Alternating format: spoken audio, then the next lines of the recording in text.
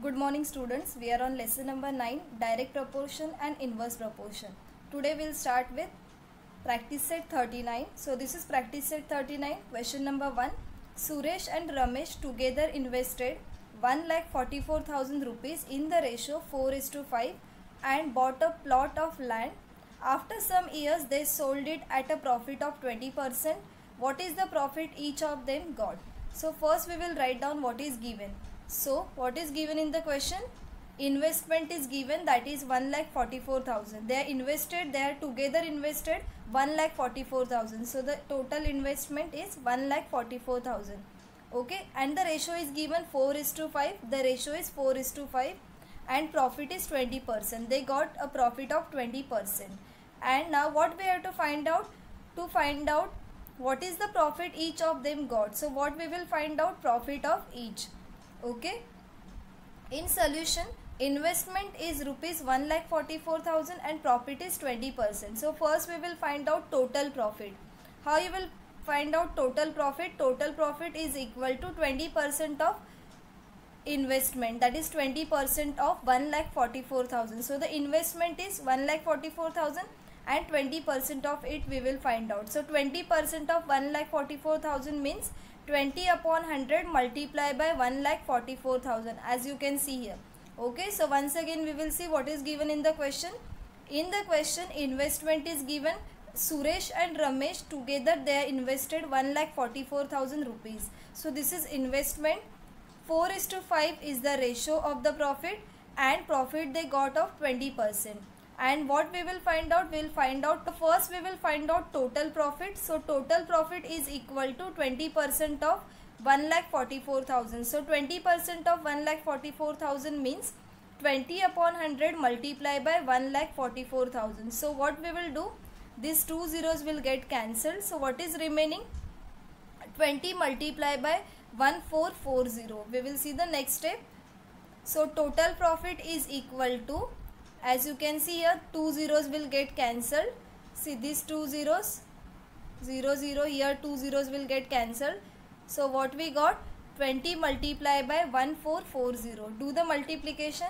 So 20 multiply by 1440 is equal to 28800 rupees. 28800 means 28800 rupees. So what is the total profit? Total profit is 28,800. Now, the profit is to be shared in the ratio 4 is to 5. The ratio is given that is 4 is to 5. Means, let the profit received by Suresh, it will be considered as 4x and let the profit received by Ramesh is equal to 5x. Why it is 4x and 5x? Because the ratio is given, the profit is to be shared in the ratio 4 is to 5. 4 is what? The profit received by Suresh is 4 and the profit received by Ramesh that is 5. So we will consider it as let the profit received by Suresh be 4x and let the profit received by Ramesh be 5x because it is given in the ratio 4 is to 5.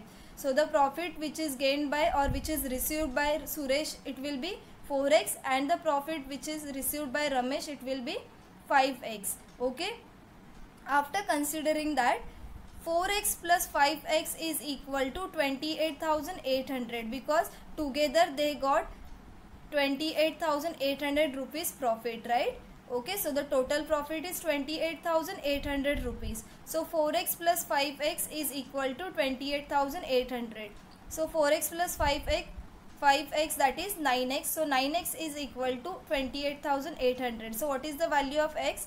This 9 it will go here so it becomes divide so x is equal to 28,800 divided by 9. So 9 3s are 27, 9 2s are 18 and 0 0. So what we got? x is equal to 3200 rupees.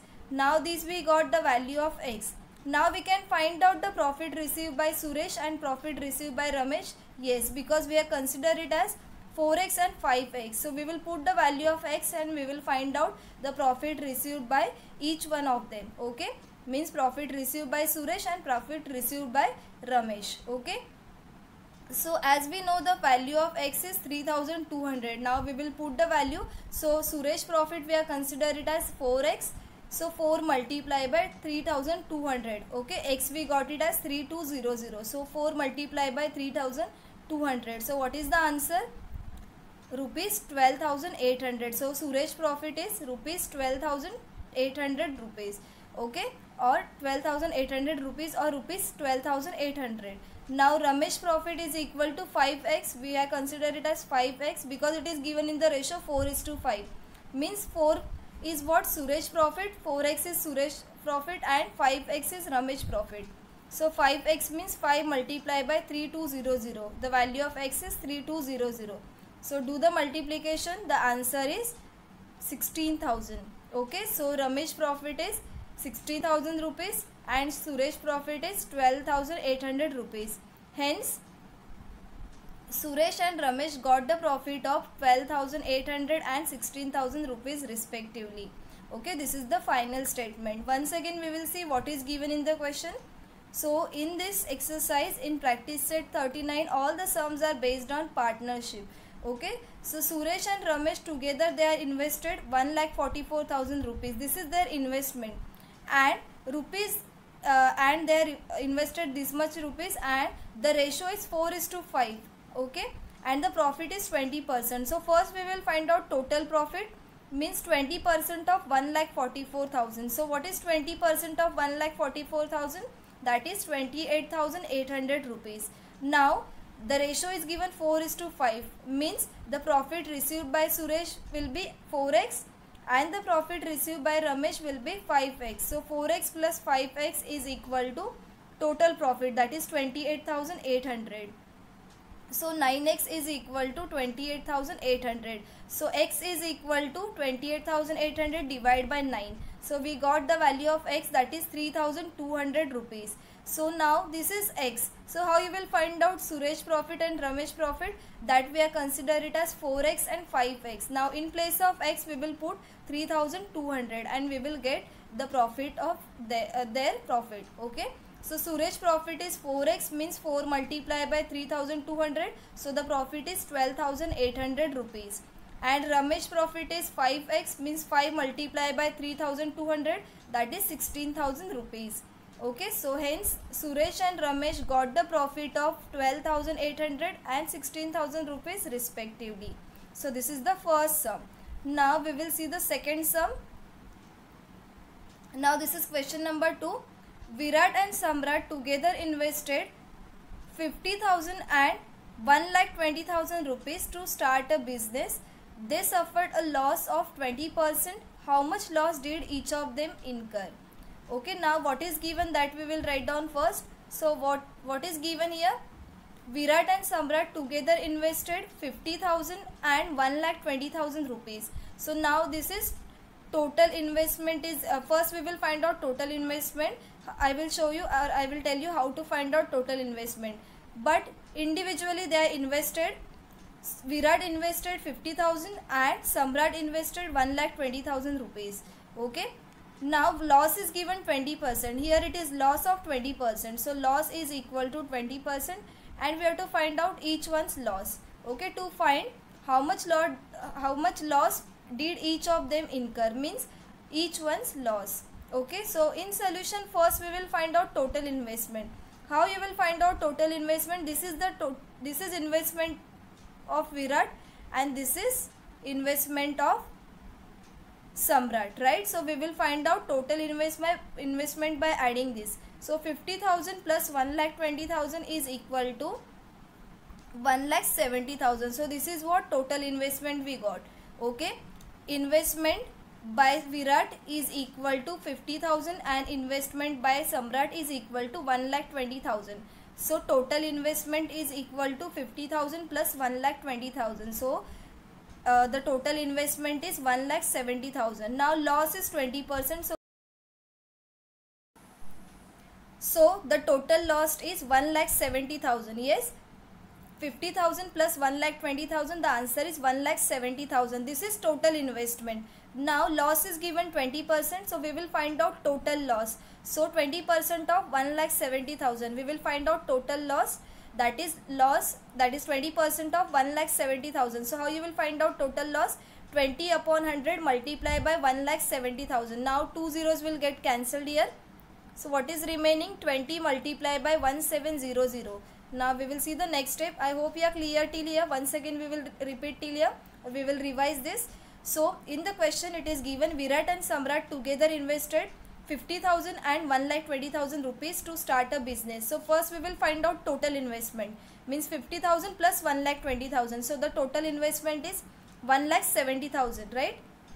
Now they suffered a loss of 20% so total loss is equal to 20% of 1 lakh 70,000 so 20 upon 100 multiply by 1 lakh 70,000 so two zeros will get cancelled. So what we got 20 multiply by 1700 these two zeros here it will get cancelled. So we got it as 1 20 multiply by 1700 so the answer is total loss is equal to 34000 okay? So this is total loss. Now ratio of investment. Now we will find out ratio of investment.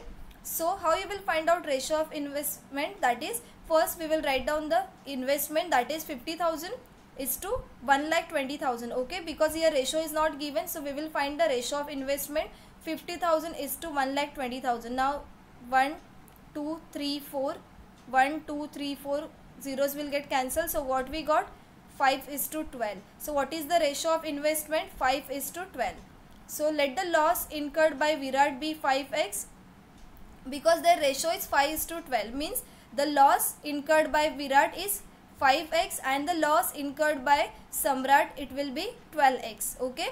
So 5x and 12x is the ratio of their loss. So 5x plus 12x is equal to the total loss is 34,000. So 5x plus eh, 12x that's the answer is 17x is equal to 34,000. So x is equal to 34,000. This 17 it will go here so it becomes divide. So 17 ones are 17, 17 twos are 34. So what is the answer? There are 3 zeros so 2000. So x we got it as 2000 rupees. Once again we will see. So what is the total loss? Total loss is equal to 34000 right? After that we will find out ratio which is not given. So how you will find out? Ratio of investment. Okay we will write down their investment and we will find the ratio. So investment is investment by virat is 50000 and investment by samrat is 1 lakh 20000 so here four zeros will get cancelled. What we got 5 is to 12 so the loss which is incurred by virat it will be 5x and the loss incurred by Samrat it will be 12x. So what is the next step is 5x plus 12x is equal to the total loss is 34,000. So 5x plus 12 17x 17x is equal to 34,000. So what is the value of x? x is equal to 34,000 divided by 17. So x is equal to 2000. Now we can find out the loss incurred by Virat. Yes, it is given 5x. We will put the value and we'll find out. Here also same. The loss incurred by Samrat is 12x. We will put the value of x and we will find out. Okay. So the next step is x we got it as 2000 rupees. So loss of Virat is equal to 5x means 5 multiplied by 2000. So the answer is 10,000 and loss of Samrat is equal to 12x. So 12 multiplied by 2000 is 24,000. So the final statement is Hence, Virat and Samrat incurred the loss of 10,000 and 24,000 rupees respectively. So, I hope you are clear with this sum. So, in this question, investment is given, total investment is given and the loss and loss is given, right? So, what we will do is first we will find out total investment. After that, we will find out total loss and we'll find the ratio of investment that is 5 is to 12 and then we will find the loss of each one of them. Okay? So i hope you are clear with the first and second sum. So today we'll stop till here. In the next session we will start with the next question. Thank you so much